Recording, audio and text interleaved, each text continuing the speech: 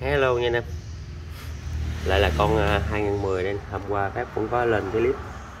Có một ông bình luận là gì? Ốc nhựa chỉnh côn chè chẹt ra. À, cái xe như thế này mà ông dòm đâu ra mới ốc nhựa chỉnh côn mà ông bình luận thì mình không hiểu. Nãy giờ phép tìm hoài không biết ốc nhựa chỉnh côn là cái gì. Con ốc này là không phải nhựa này là kim loại nha. Ốc chỉnh côn người ta chưa có chạm nha. Đó cái nắp này anh nói nắp này. Đây nè bình luận nè. Đây nè. Ốc tệ, minh nè. Có cái tài khoản là tệ minh vlog nè. Ốc nhựa chỉnh côn chè chẹt ra ra cả kè. Nha ông này chắc là người bắc này. Nếu mà ấy giọng là người bắc. Để coi ông bình luận gì này nhiều. Ờ, ông cũng bình luận tham gia cũng nhiều quá ha. 17 cái lần đó. Cũng là fan của mình thôi nhưng mà có cái là ông nói cái cái ốc nhựa chỉnh côn là chè chẹt ra cả kìa. Ốc nhựa chỉnh côn hay là ông nói con bên đây ta? Hay là ông nói bên nắp ra à, nắp điện mấy con ốc mà chỉnh à, mà sinh cam? Bởi vì hôm nay anh em bình luận cái nào cũng vậy chứ. Mình nhắm cho chắc. À, mình phải hiểu biết. Hay là mình nhắm cho chắc mình hãy nói. Nhầm khi có người, người ta người ta rất là kính mồm kính miệng ta khéo léo á nhầm khi ta biết người ta không nói nữa ta coi chơi. Bình luận ốc nhựa chỉnh côn là cái gì? Còn mấy cái này thì nó phải chạy chỉ nha. Trời ơi trời không chạy chỉ là nó nó thay không nó như mấy đồng chí đồng đội. Không chạy chỉ là nó thấy xấu thay là còn mấy cái này là dặn như là nó này là cái mặt kêu là nhôm mặt nhôm để chặn á. Đó, thời gian nó phải chạy chỉ với đó mười mấy năm nó chạy chỉ đó chiếc nào mà không chạy cái này là, cái này là không phải ốc nhựa.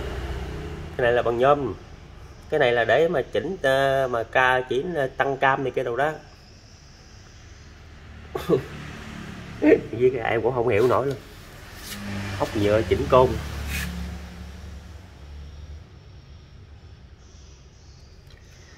Bình luận phải phải xây dựng, phải đóng góp và nói gì đâu. Bây giờ kiếm đâu cái xe đẹp gì đâu. Ở đó mà chơi với khen xin lỗi anh em đi mua lớn quớ lớn quớ. Đó. dính neo cốt chuột như chơi luôn. Còn cái xe tua đồng hồ không? Xe này đi đi đúng chân 23 ngàn luôn. Lúc phép bán à, lúc đó vỏ bánh ông xin dễ còn hết trơn. Về ông anh ông kỹ tính ông thay nữa. lúc đó mình bán cho anh em đó là nhông sinh dĩa vỏ bánh, ra màu đỏ, bánh câm đó. về người ta thi số nè xém nữa là không được 50 số 4 luôn. Không được 50 số 4 nè em thảy này xuống. Ốc nhựa chỉnh côn, nhè nhẹt ra cả rồi. Ai bình luận bình luận này cái gì? À, là mình biết chân nha anh em. Chứ không phải biết đâu, mình coi là biết chân đó em. Rất quan tâm những cái ý kiến của anh em. Ốc nhựa chỉnh côn. Ốc nhựa chỉnh côn chè chẹt ra cả, rồi kìa. Côn nếu mà người người bắt nó côn là chỉ có ốc chỉnh nồi này thôi. Đó, mà chỉnh nồi làm gì chè chẹt. Ốc của người ta gì đúng màu găm nhưng chưa có mà mà đụng vô nữa mà đúng màu người ta, màu zin theo xe của người ta. Làm gì đâu mà chè chẹt. Dám chịu nói con nắp mà, nắp chỉnh điện ờ, chỉnh, nắp bên điện á, mấy ốc chỉnh tăng cam rồi đó em cũng bó tay. Có ông thì trả 59 có ông thì kêu bớt đi. Em cũng bớt luôn. Giá xe 69 em bớt xuống còn 72 tánh em nó khác người ta lắm. Trên đó đâu có à, thì giờ đâu mà nói nhiều đâu nè. Vậy thôi. Xe 69 triệu như vậy mà không mua, kêu bớt đi thì bớt 72 triệu con bình luận vô. Ủa, sao kỳ vậy? Sao xe 79 vớt cái mai ừ vậy đó?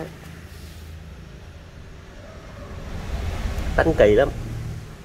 Đẹp quá. Đẹp đẹp quá quay ly, quay lại quay lại rồi quay đi rồi. Xong đem qua đó đậu à. Rồi, anh em nào biết câu ông đó ông nói ốc ờ, chỉnh ờ, ốc nhựa chỉnh côn là con ốc nào đó, anh em bình luận giùm đây để em còn biết, để em kiểm tra em có hoài mấy ốc bình ốc nhựa chỉnh côn rồi ốc quái vật nào trời.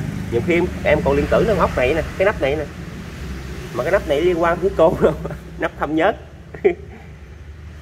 Đạp ghê chưa? Chắc xe đó cái chắc xe đó nó. Ốc nhựa chỉnh côn. Chè chẹt hết ra cả rồi kìa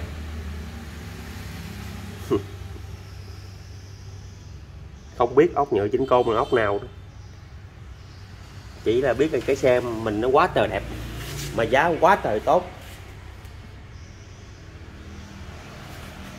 Ốc nhựa chỉnh côn xíu thì chứ.